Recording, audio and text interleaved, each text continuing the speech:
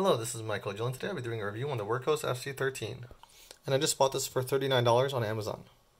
It comes with an instruction booklet, a Type-C to Type-A cable, a lanyard, and a bunch of extra O-rings in here.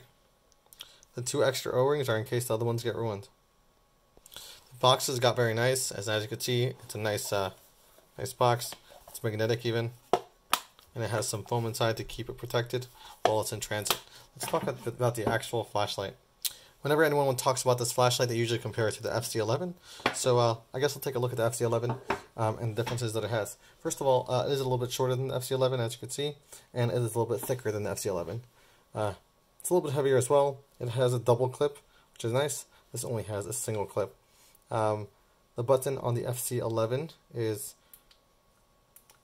their regular button with a little cover over there. This is a new button and I really like it. It has a lot more resistance to it. The feedback is very nice when you actually click that button. Plus it has the aux RGB lights which are very nice. It also does have the same exact spot for the lanyard as you can see right here. They look very similar if not exactly the same. Uh, one thing that the uh, FC11 does have is that this tail is magnetic whereas this tail is not. You can buy a magnetic tail on Wurkkos' website. I think it's just like two or three dollars, which is nice to have. The body of the FC11 has these, uh, I guess, these grooves over here. The FC13, a little bit different. Uh, the grooves look different. Um, I'm not sure which one I like better in my hand. This one is definitely the more uh, everyday carry type of thing, where this is also everyday carry, but uh, a little bit thicker. So this might be a better choice for the everyday carry. However, um, there is a Type-C port on both of them. This one has a thinner one, as you can see right here. It is thinner. Uh, the one on the FC11 is a little bit thicker.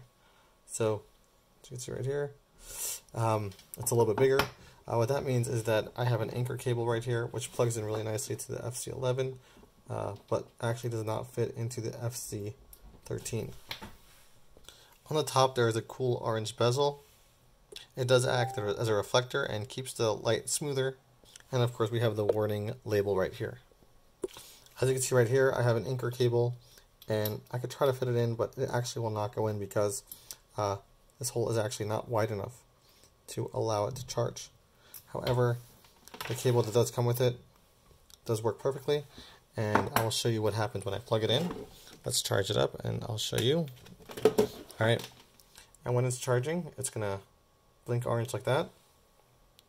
And it just shows a constant orange light when it is fully charged, just like this. And it is waterproof, so that's why there is such a, I guess, thick um, piece of rubber there by the charging port. It does have a reverse charging function, which means that if I plug this in to here and then into my phone, it will charge my phone, which is very nice. However, I can't display that right now because uh, this cable is actually too thick to fit in my phone, and therefore um, I don't have any other Type-C to Type-C cables offhand, so I can't show you. Obviously, I'm a fan of the tab. It's easy to open and close, so at least that's good.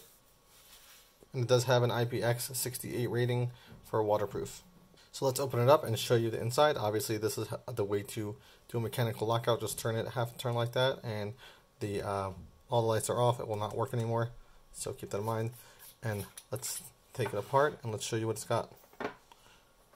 Oops. Okay, we're going to put that right there.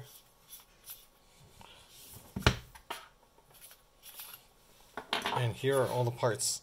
Um, now let's take a look at the battery. It is a 3000 milliamp battery, hour battery, an 18650, which is nice, which means it is interchangeable with the other 18650 batteries, such as the FC11, so let's open it up and take a look. As you can see, you could use this battery, which is really nice. Another really great function is that you can actually use it with the small tube. And I'm going to show you that in a second. Here is the 18350 tube that you can buy on Wurkkos' website. This is just like $2, so that's really nice. Um, instead of using this tube, you can use that tube, and you can put an 18350 battery in here. Unfortunately, my 18350 batteries are not here yet, but this is what it will look like, and it will work totally fine uh, because they are meant for the FC11, FC12, and FC13. So that's really nice. Buying this tube is definitely a great idea. So the 2.4 amp charging is really nice because it also can charge your devices at 2.4 amps. However, um, as you can see right here, 2.4 amps. So um, I just think that uh, it might be a little bit too many amps for the cell. I don't know if it, you know, what kind of cell Wurkkos is using. Um, they usually use pretty decent quality stuff, but um, I just I'm just a little bit nervous about the high amperage that it's using. 5 volts, 2.4 amps seems like a little bit um a little bit high for in uh, 18650. But that's just my personal opinion. Um, I really do like how it's a power bank, but keep in mind that when the aux lights are on, in general, um, it will drain the battery really quickly. So uh, keep that in mind. You know, your battery might be draining uh, much much more quickly uh, with a flashlight like this versus the FC11, which does not have any uh, aux lights. Um, so if you do have aux lights on, it will drain your battery a little bit faster. Now this light used to be uh, with the only the SFN43. Uh, the SFN43 actually um, is a, let's just say it's not people's favorite uh, LED emitter. So um, people are very unhappy with that, and uh, uh, does listen to the customers, and they actually immediately change it to have two two different options. So one of the options were the one that I have right now. This is the SFT40, um, and uh, people like this one a lot. I'll give you the reasons why, but the also the other option is XHP50.2. So, um, and I have the 6500 or 6500K um, tint, I guess, on the light. So that's my personal preference because I'm going to use this as an outdoor light. I think the higher tint is better with outdoor lights. Something like 65,000, uh, 6500 or would be better outside. Now the uh, SFT40 actually is a little bit cheaper, but the reason why I bought it was really because of the good throw and spill that it provided. Um, it does still, at a lower level, provide decent range.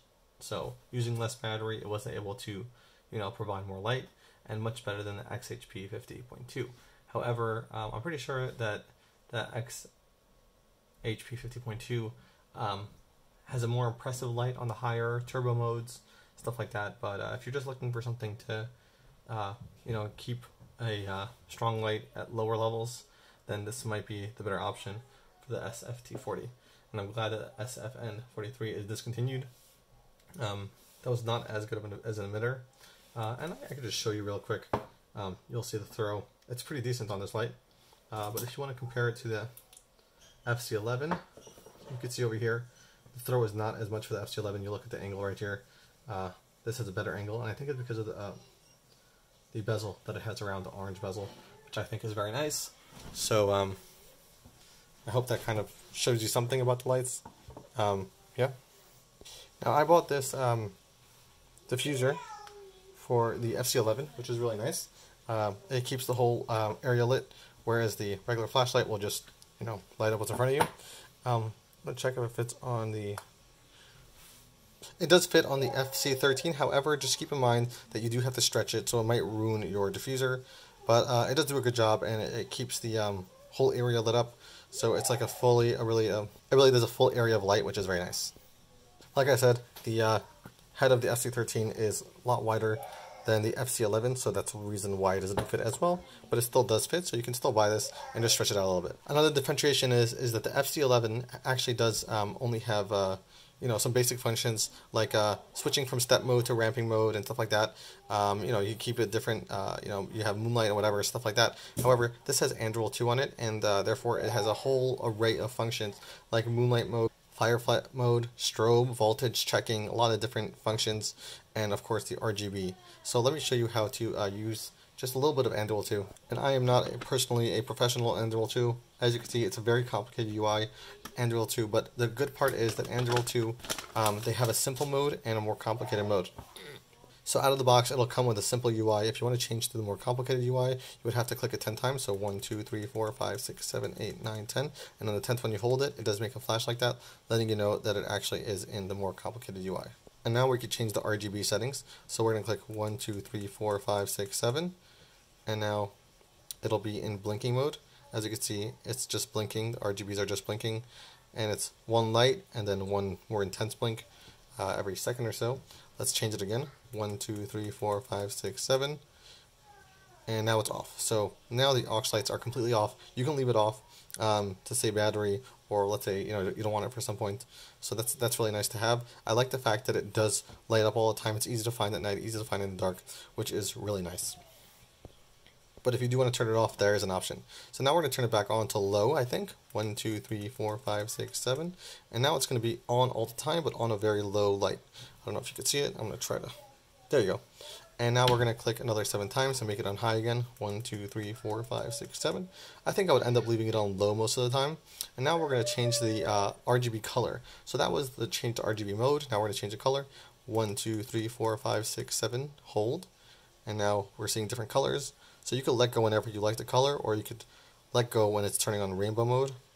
So now it's on rainbow mode. As you can see it'll change like that. And now it's in rainbow mode which is super annoying if you are just having it sit there. It could it could bother you.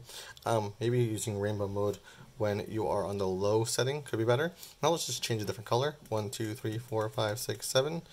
And I think okay so let's let's choose uh, blue that's good um, so you just let go whenever you like the color and it'll keep that color so in conclusion, um, what I would tell you is is that uh, should you buy this flashlight? Now, if you are a flashlight enthusiast and you like the RGBs, you like Anduril 2, it's important to you, yeah, spend the extra few bucks and get this flashlight. Um, you could always change out uh, the tail cap for a magnetic tail cap if you really want it. Um, if you like the RGBs, you like the light lit all the time, that's a really good option for you. The bezel also looks very crisp. I like it.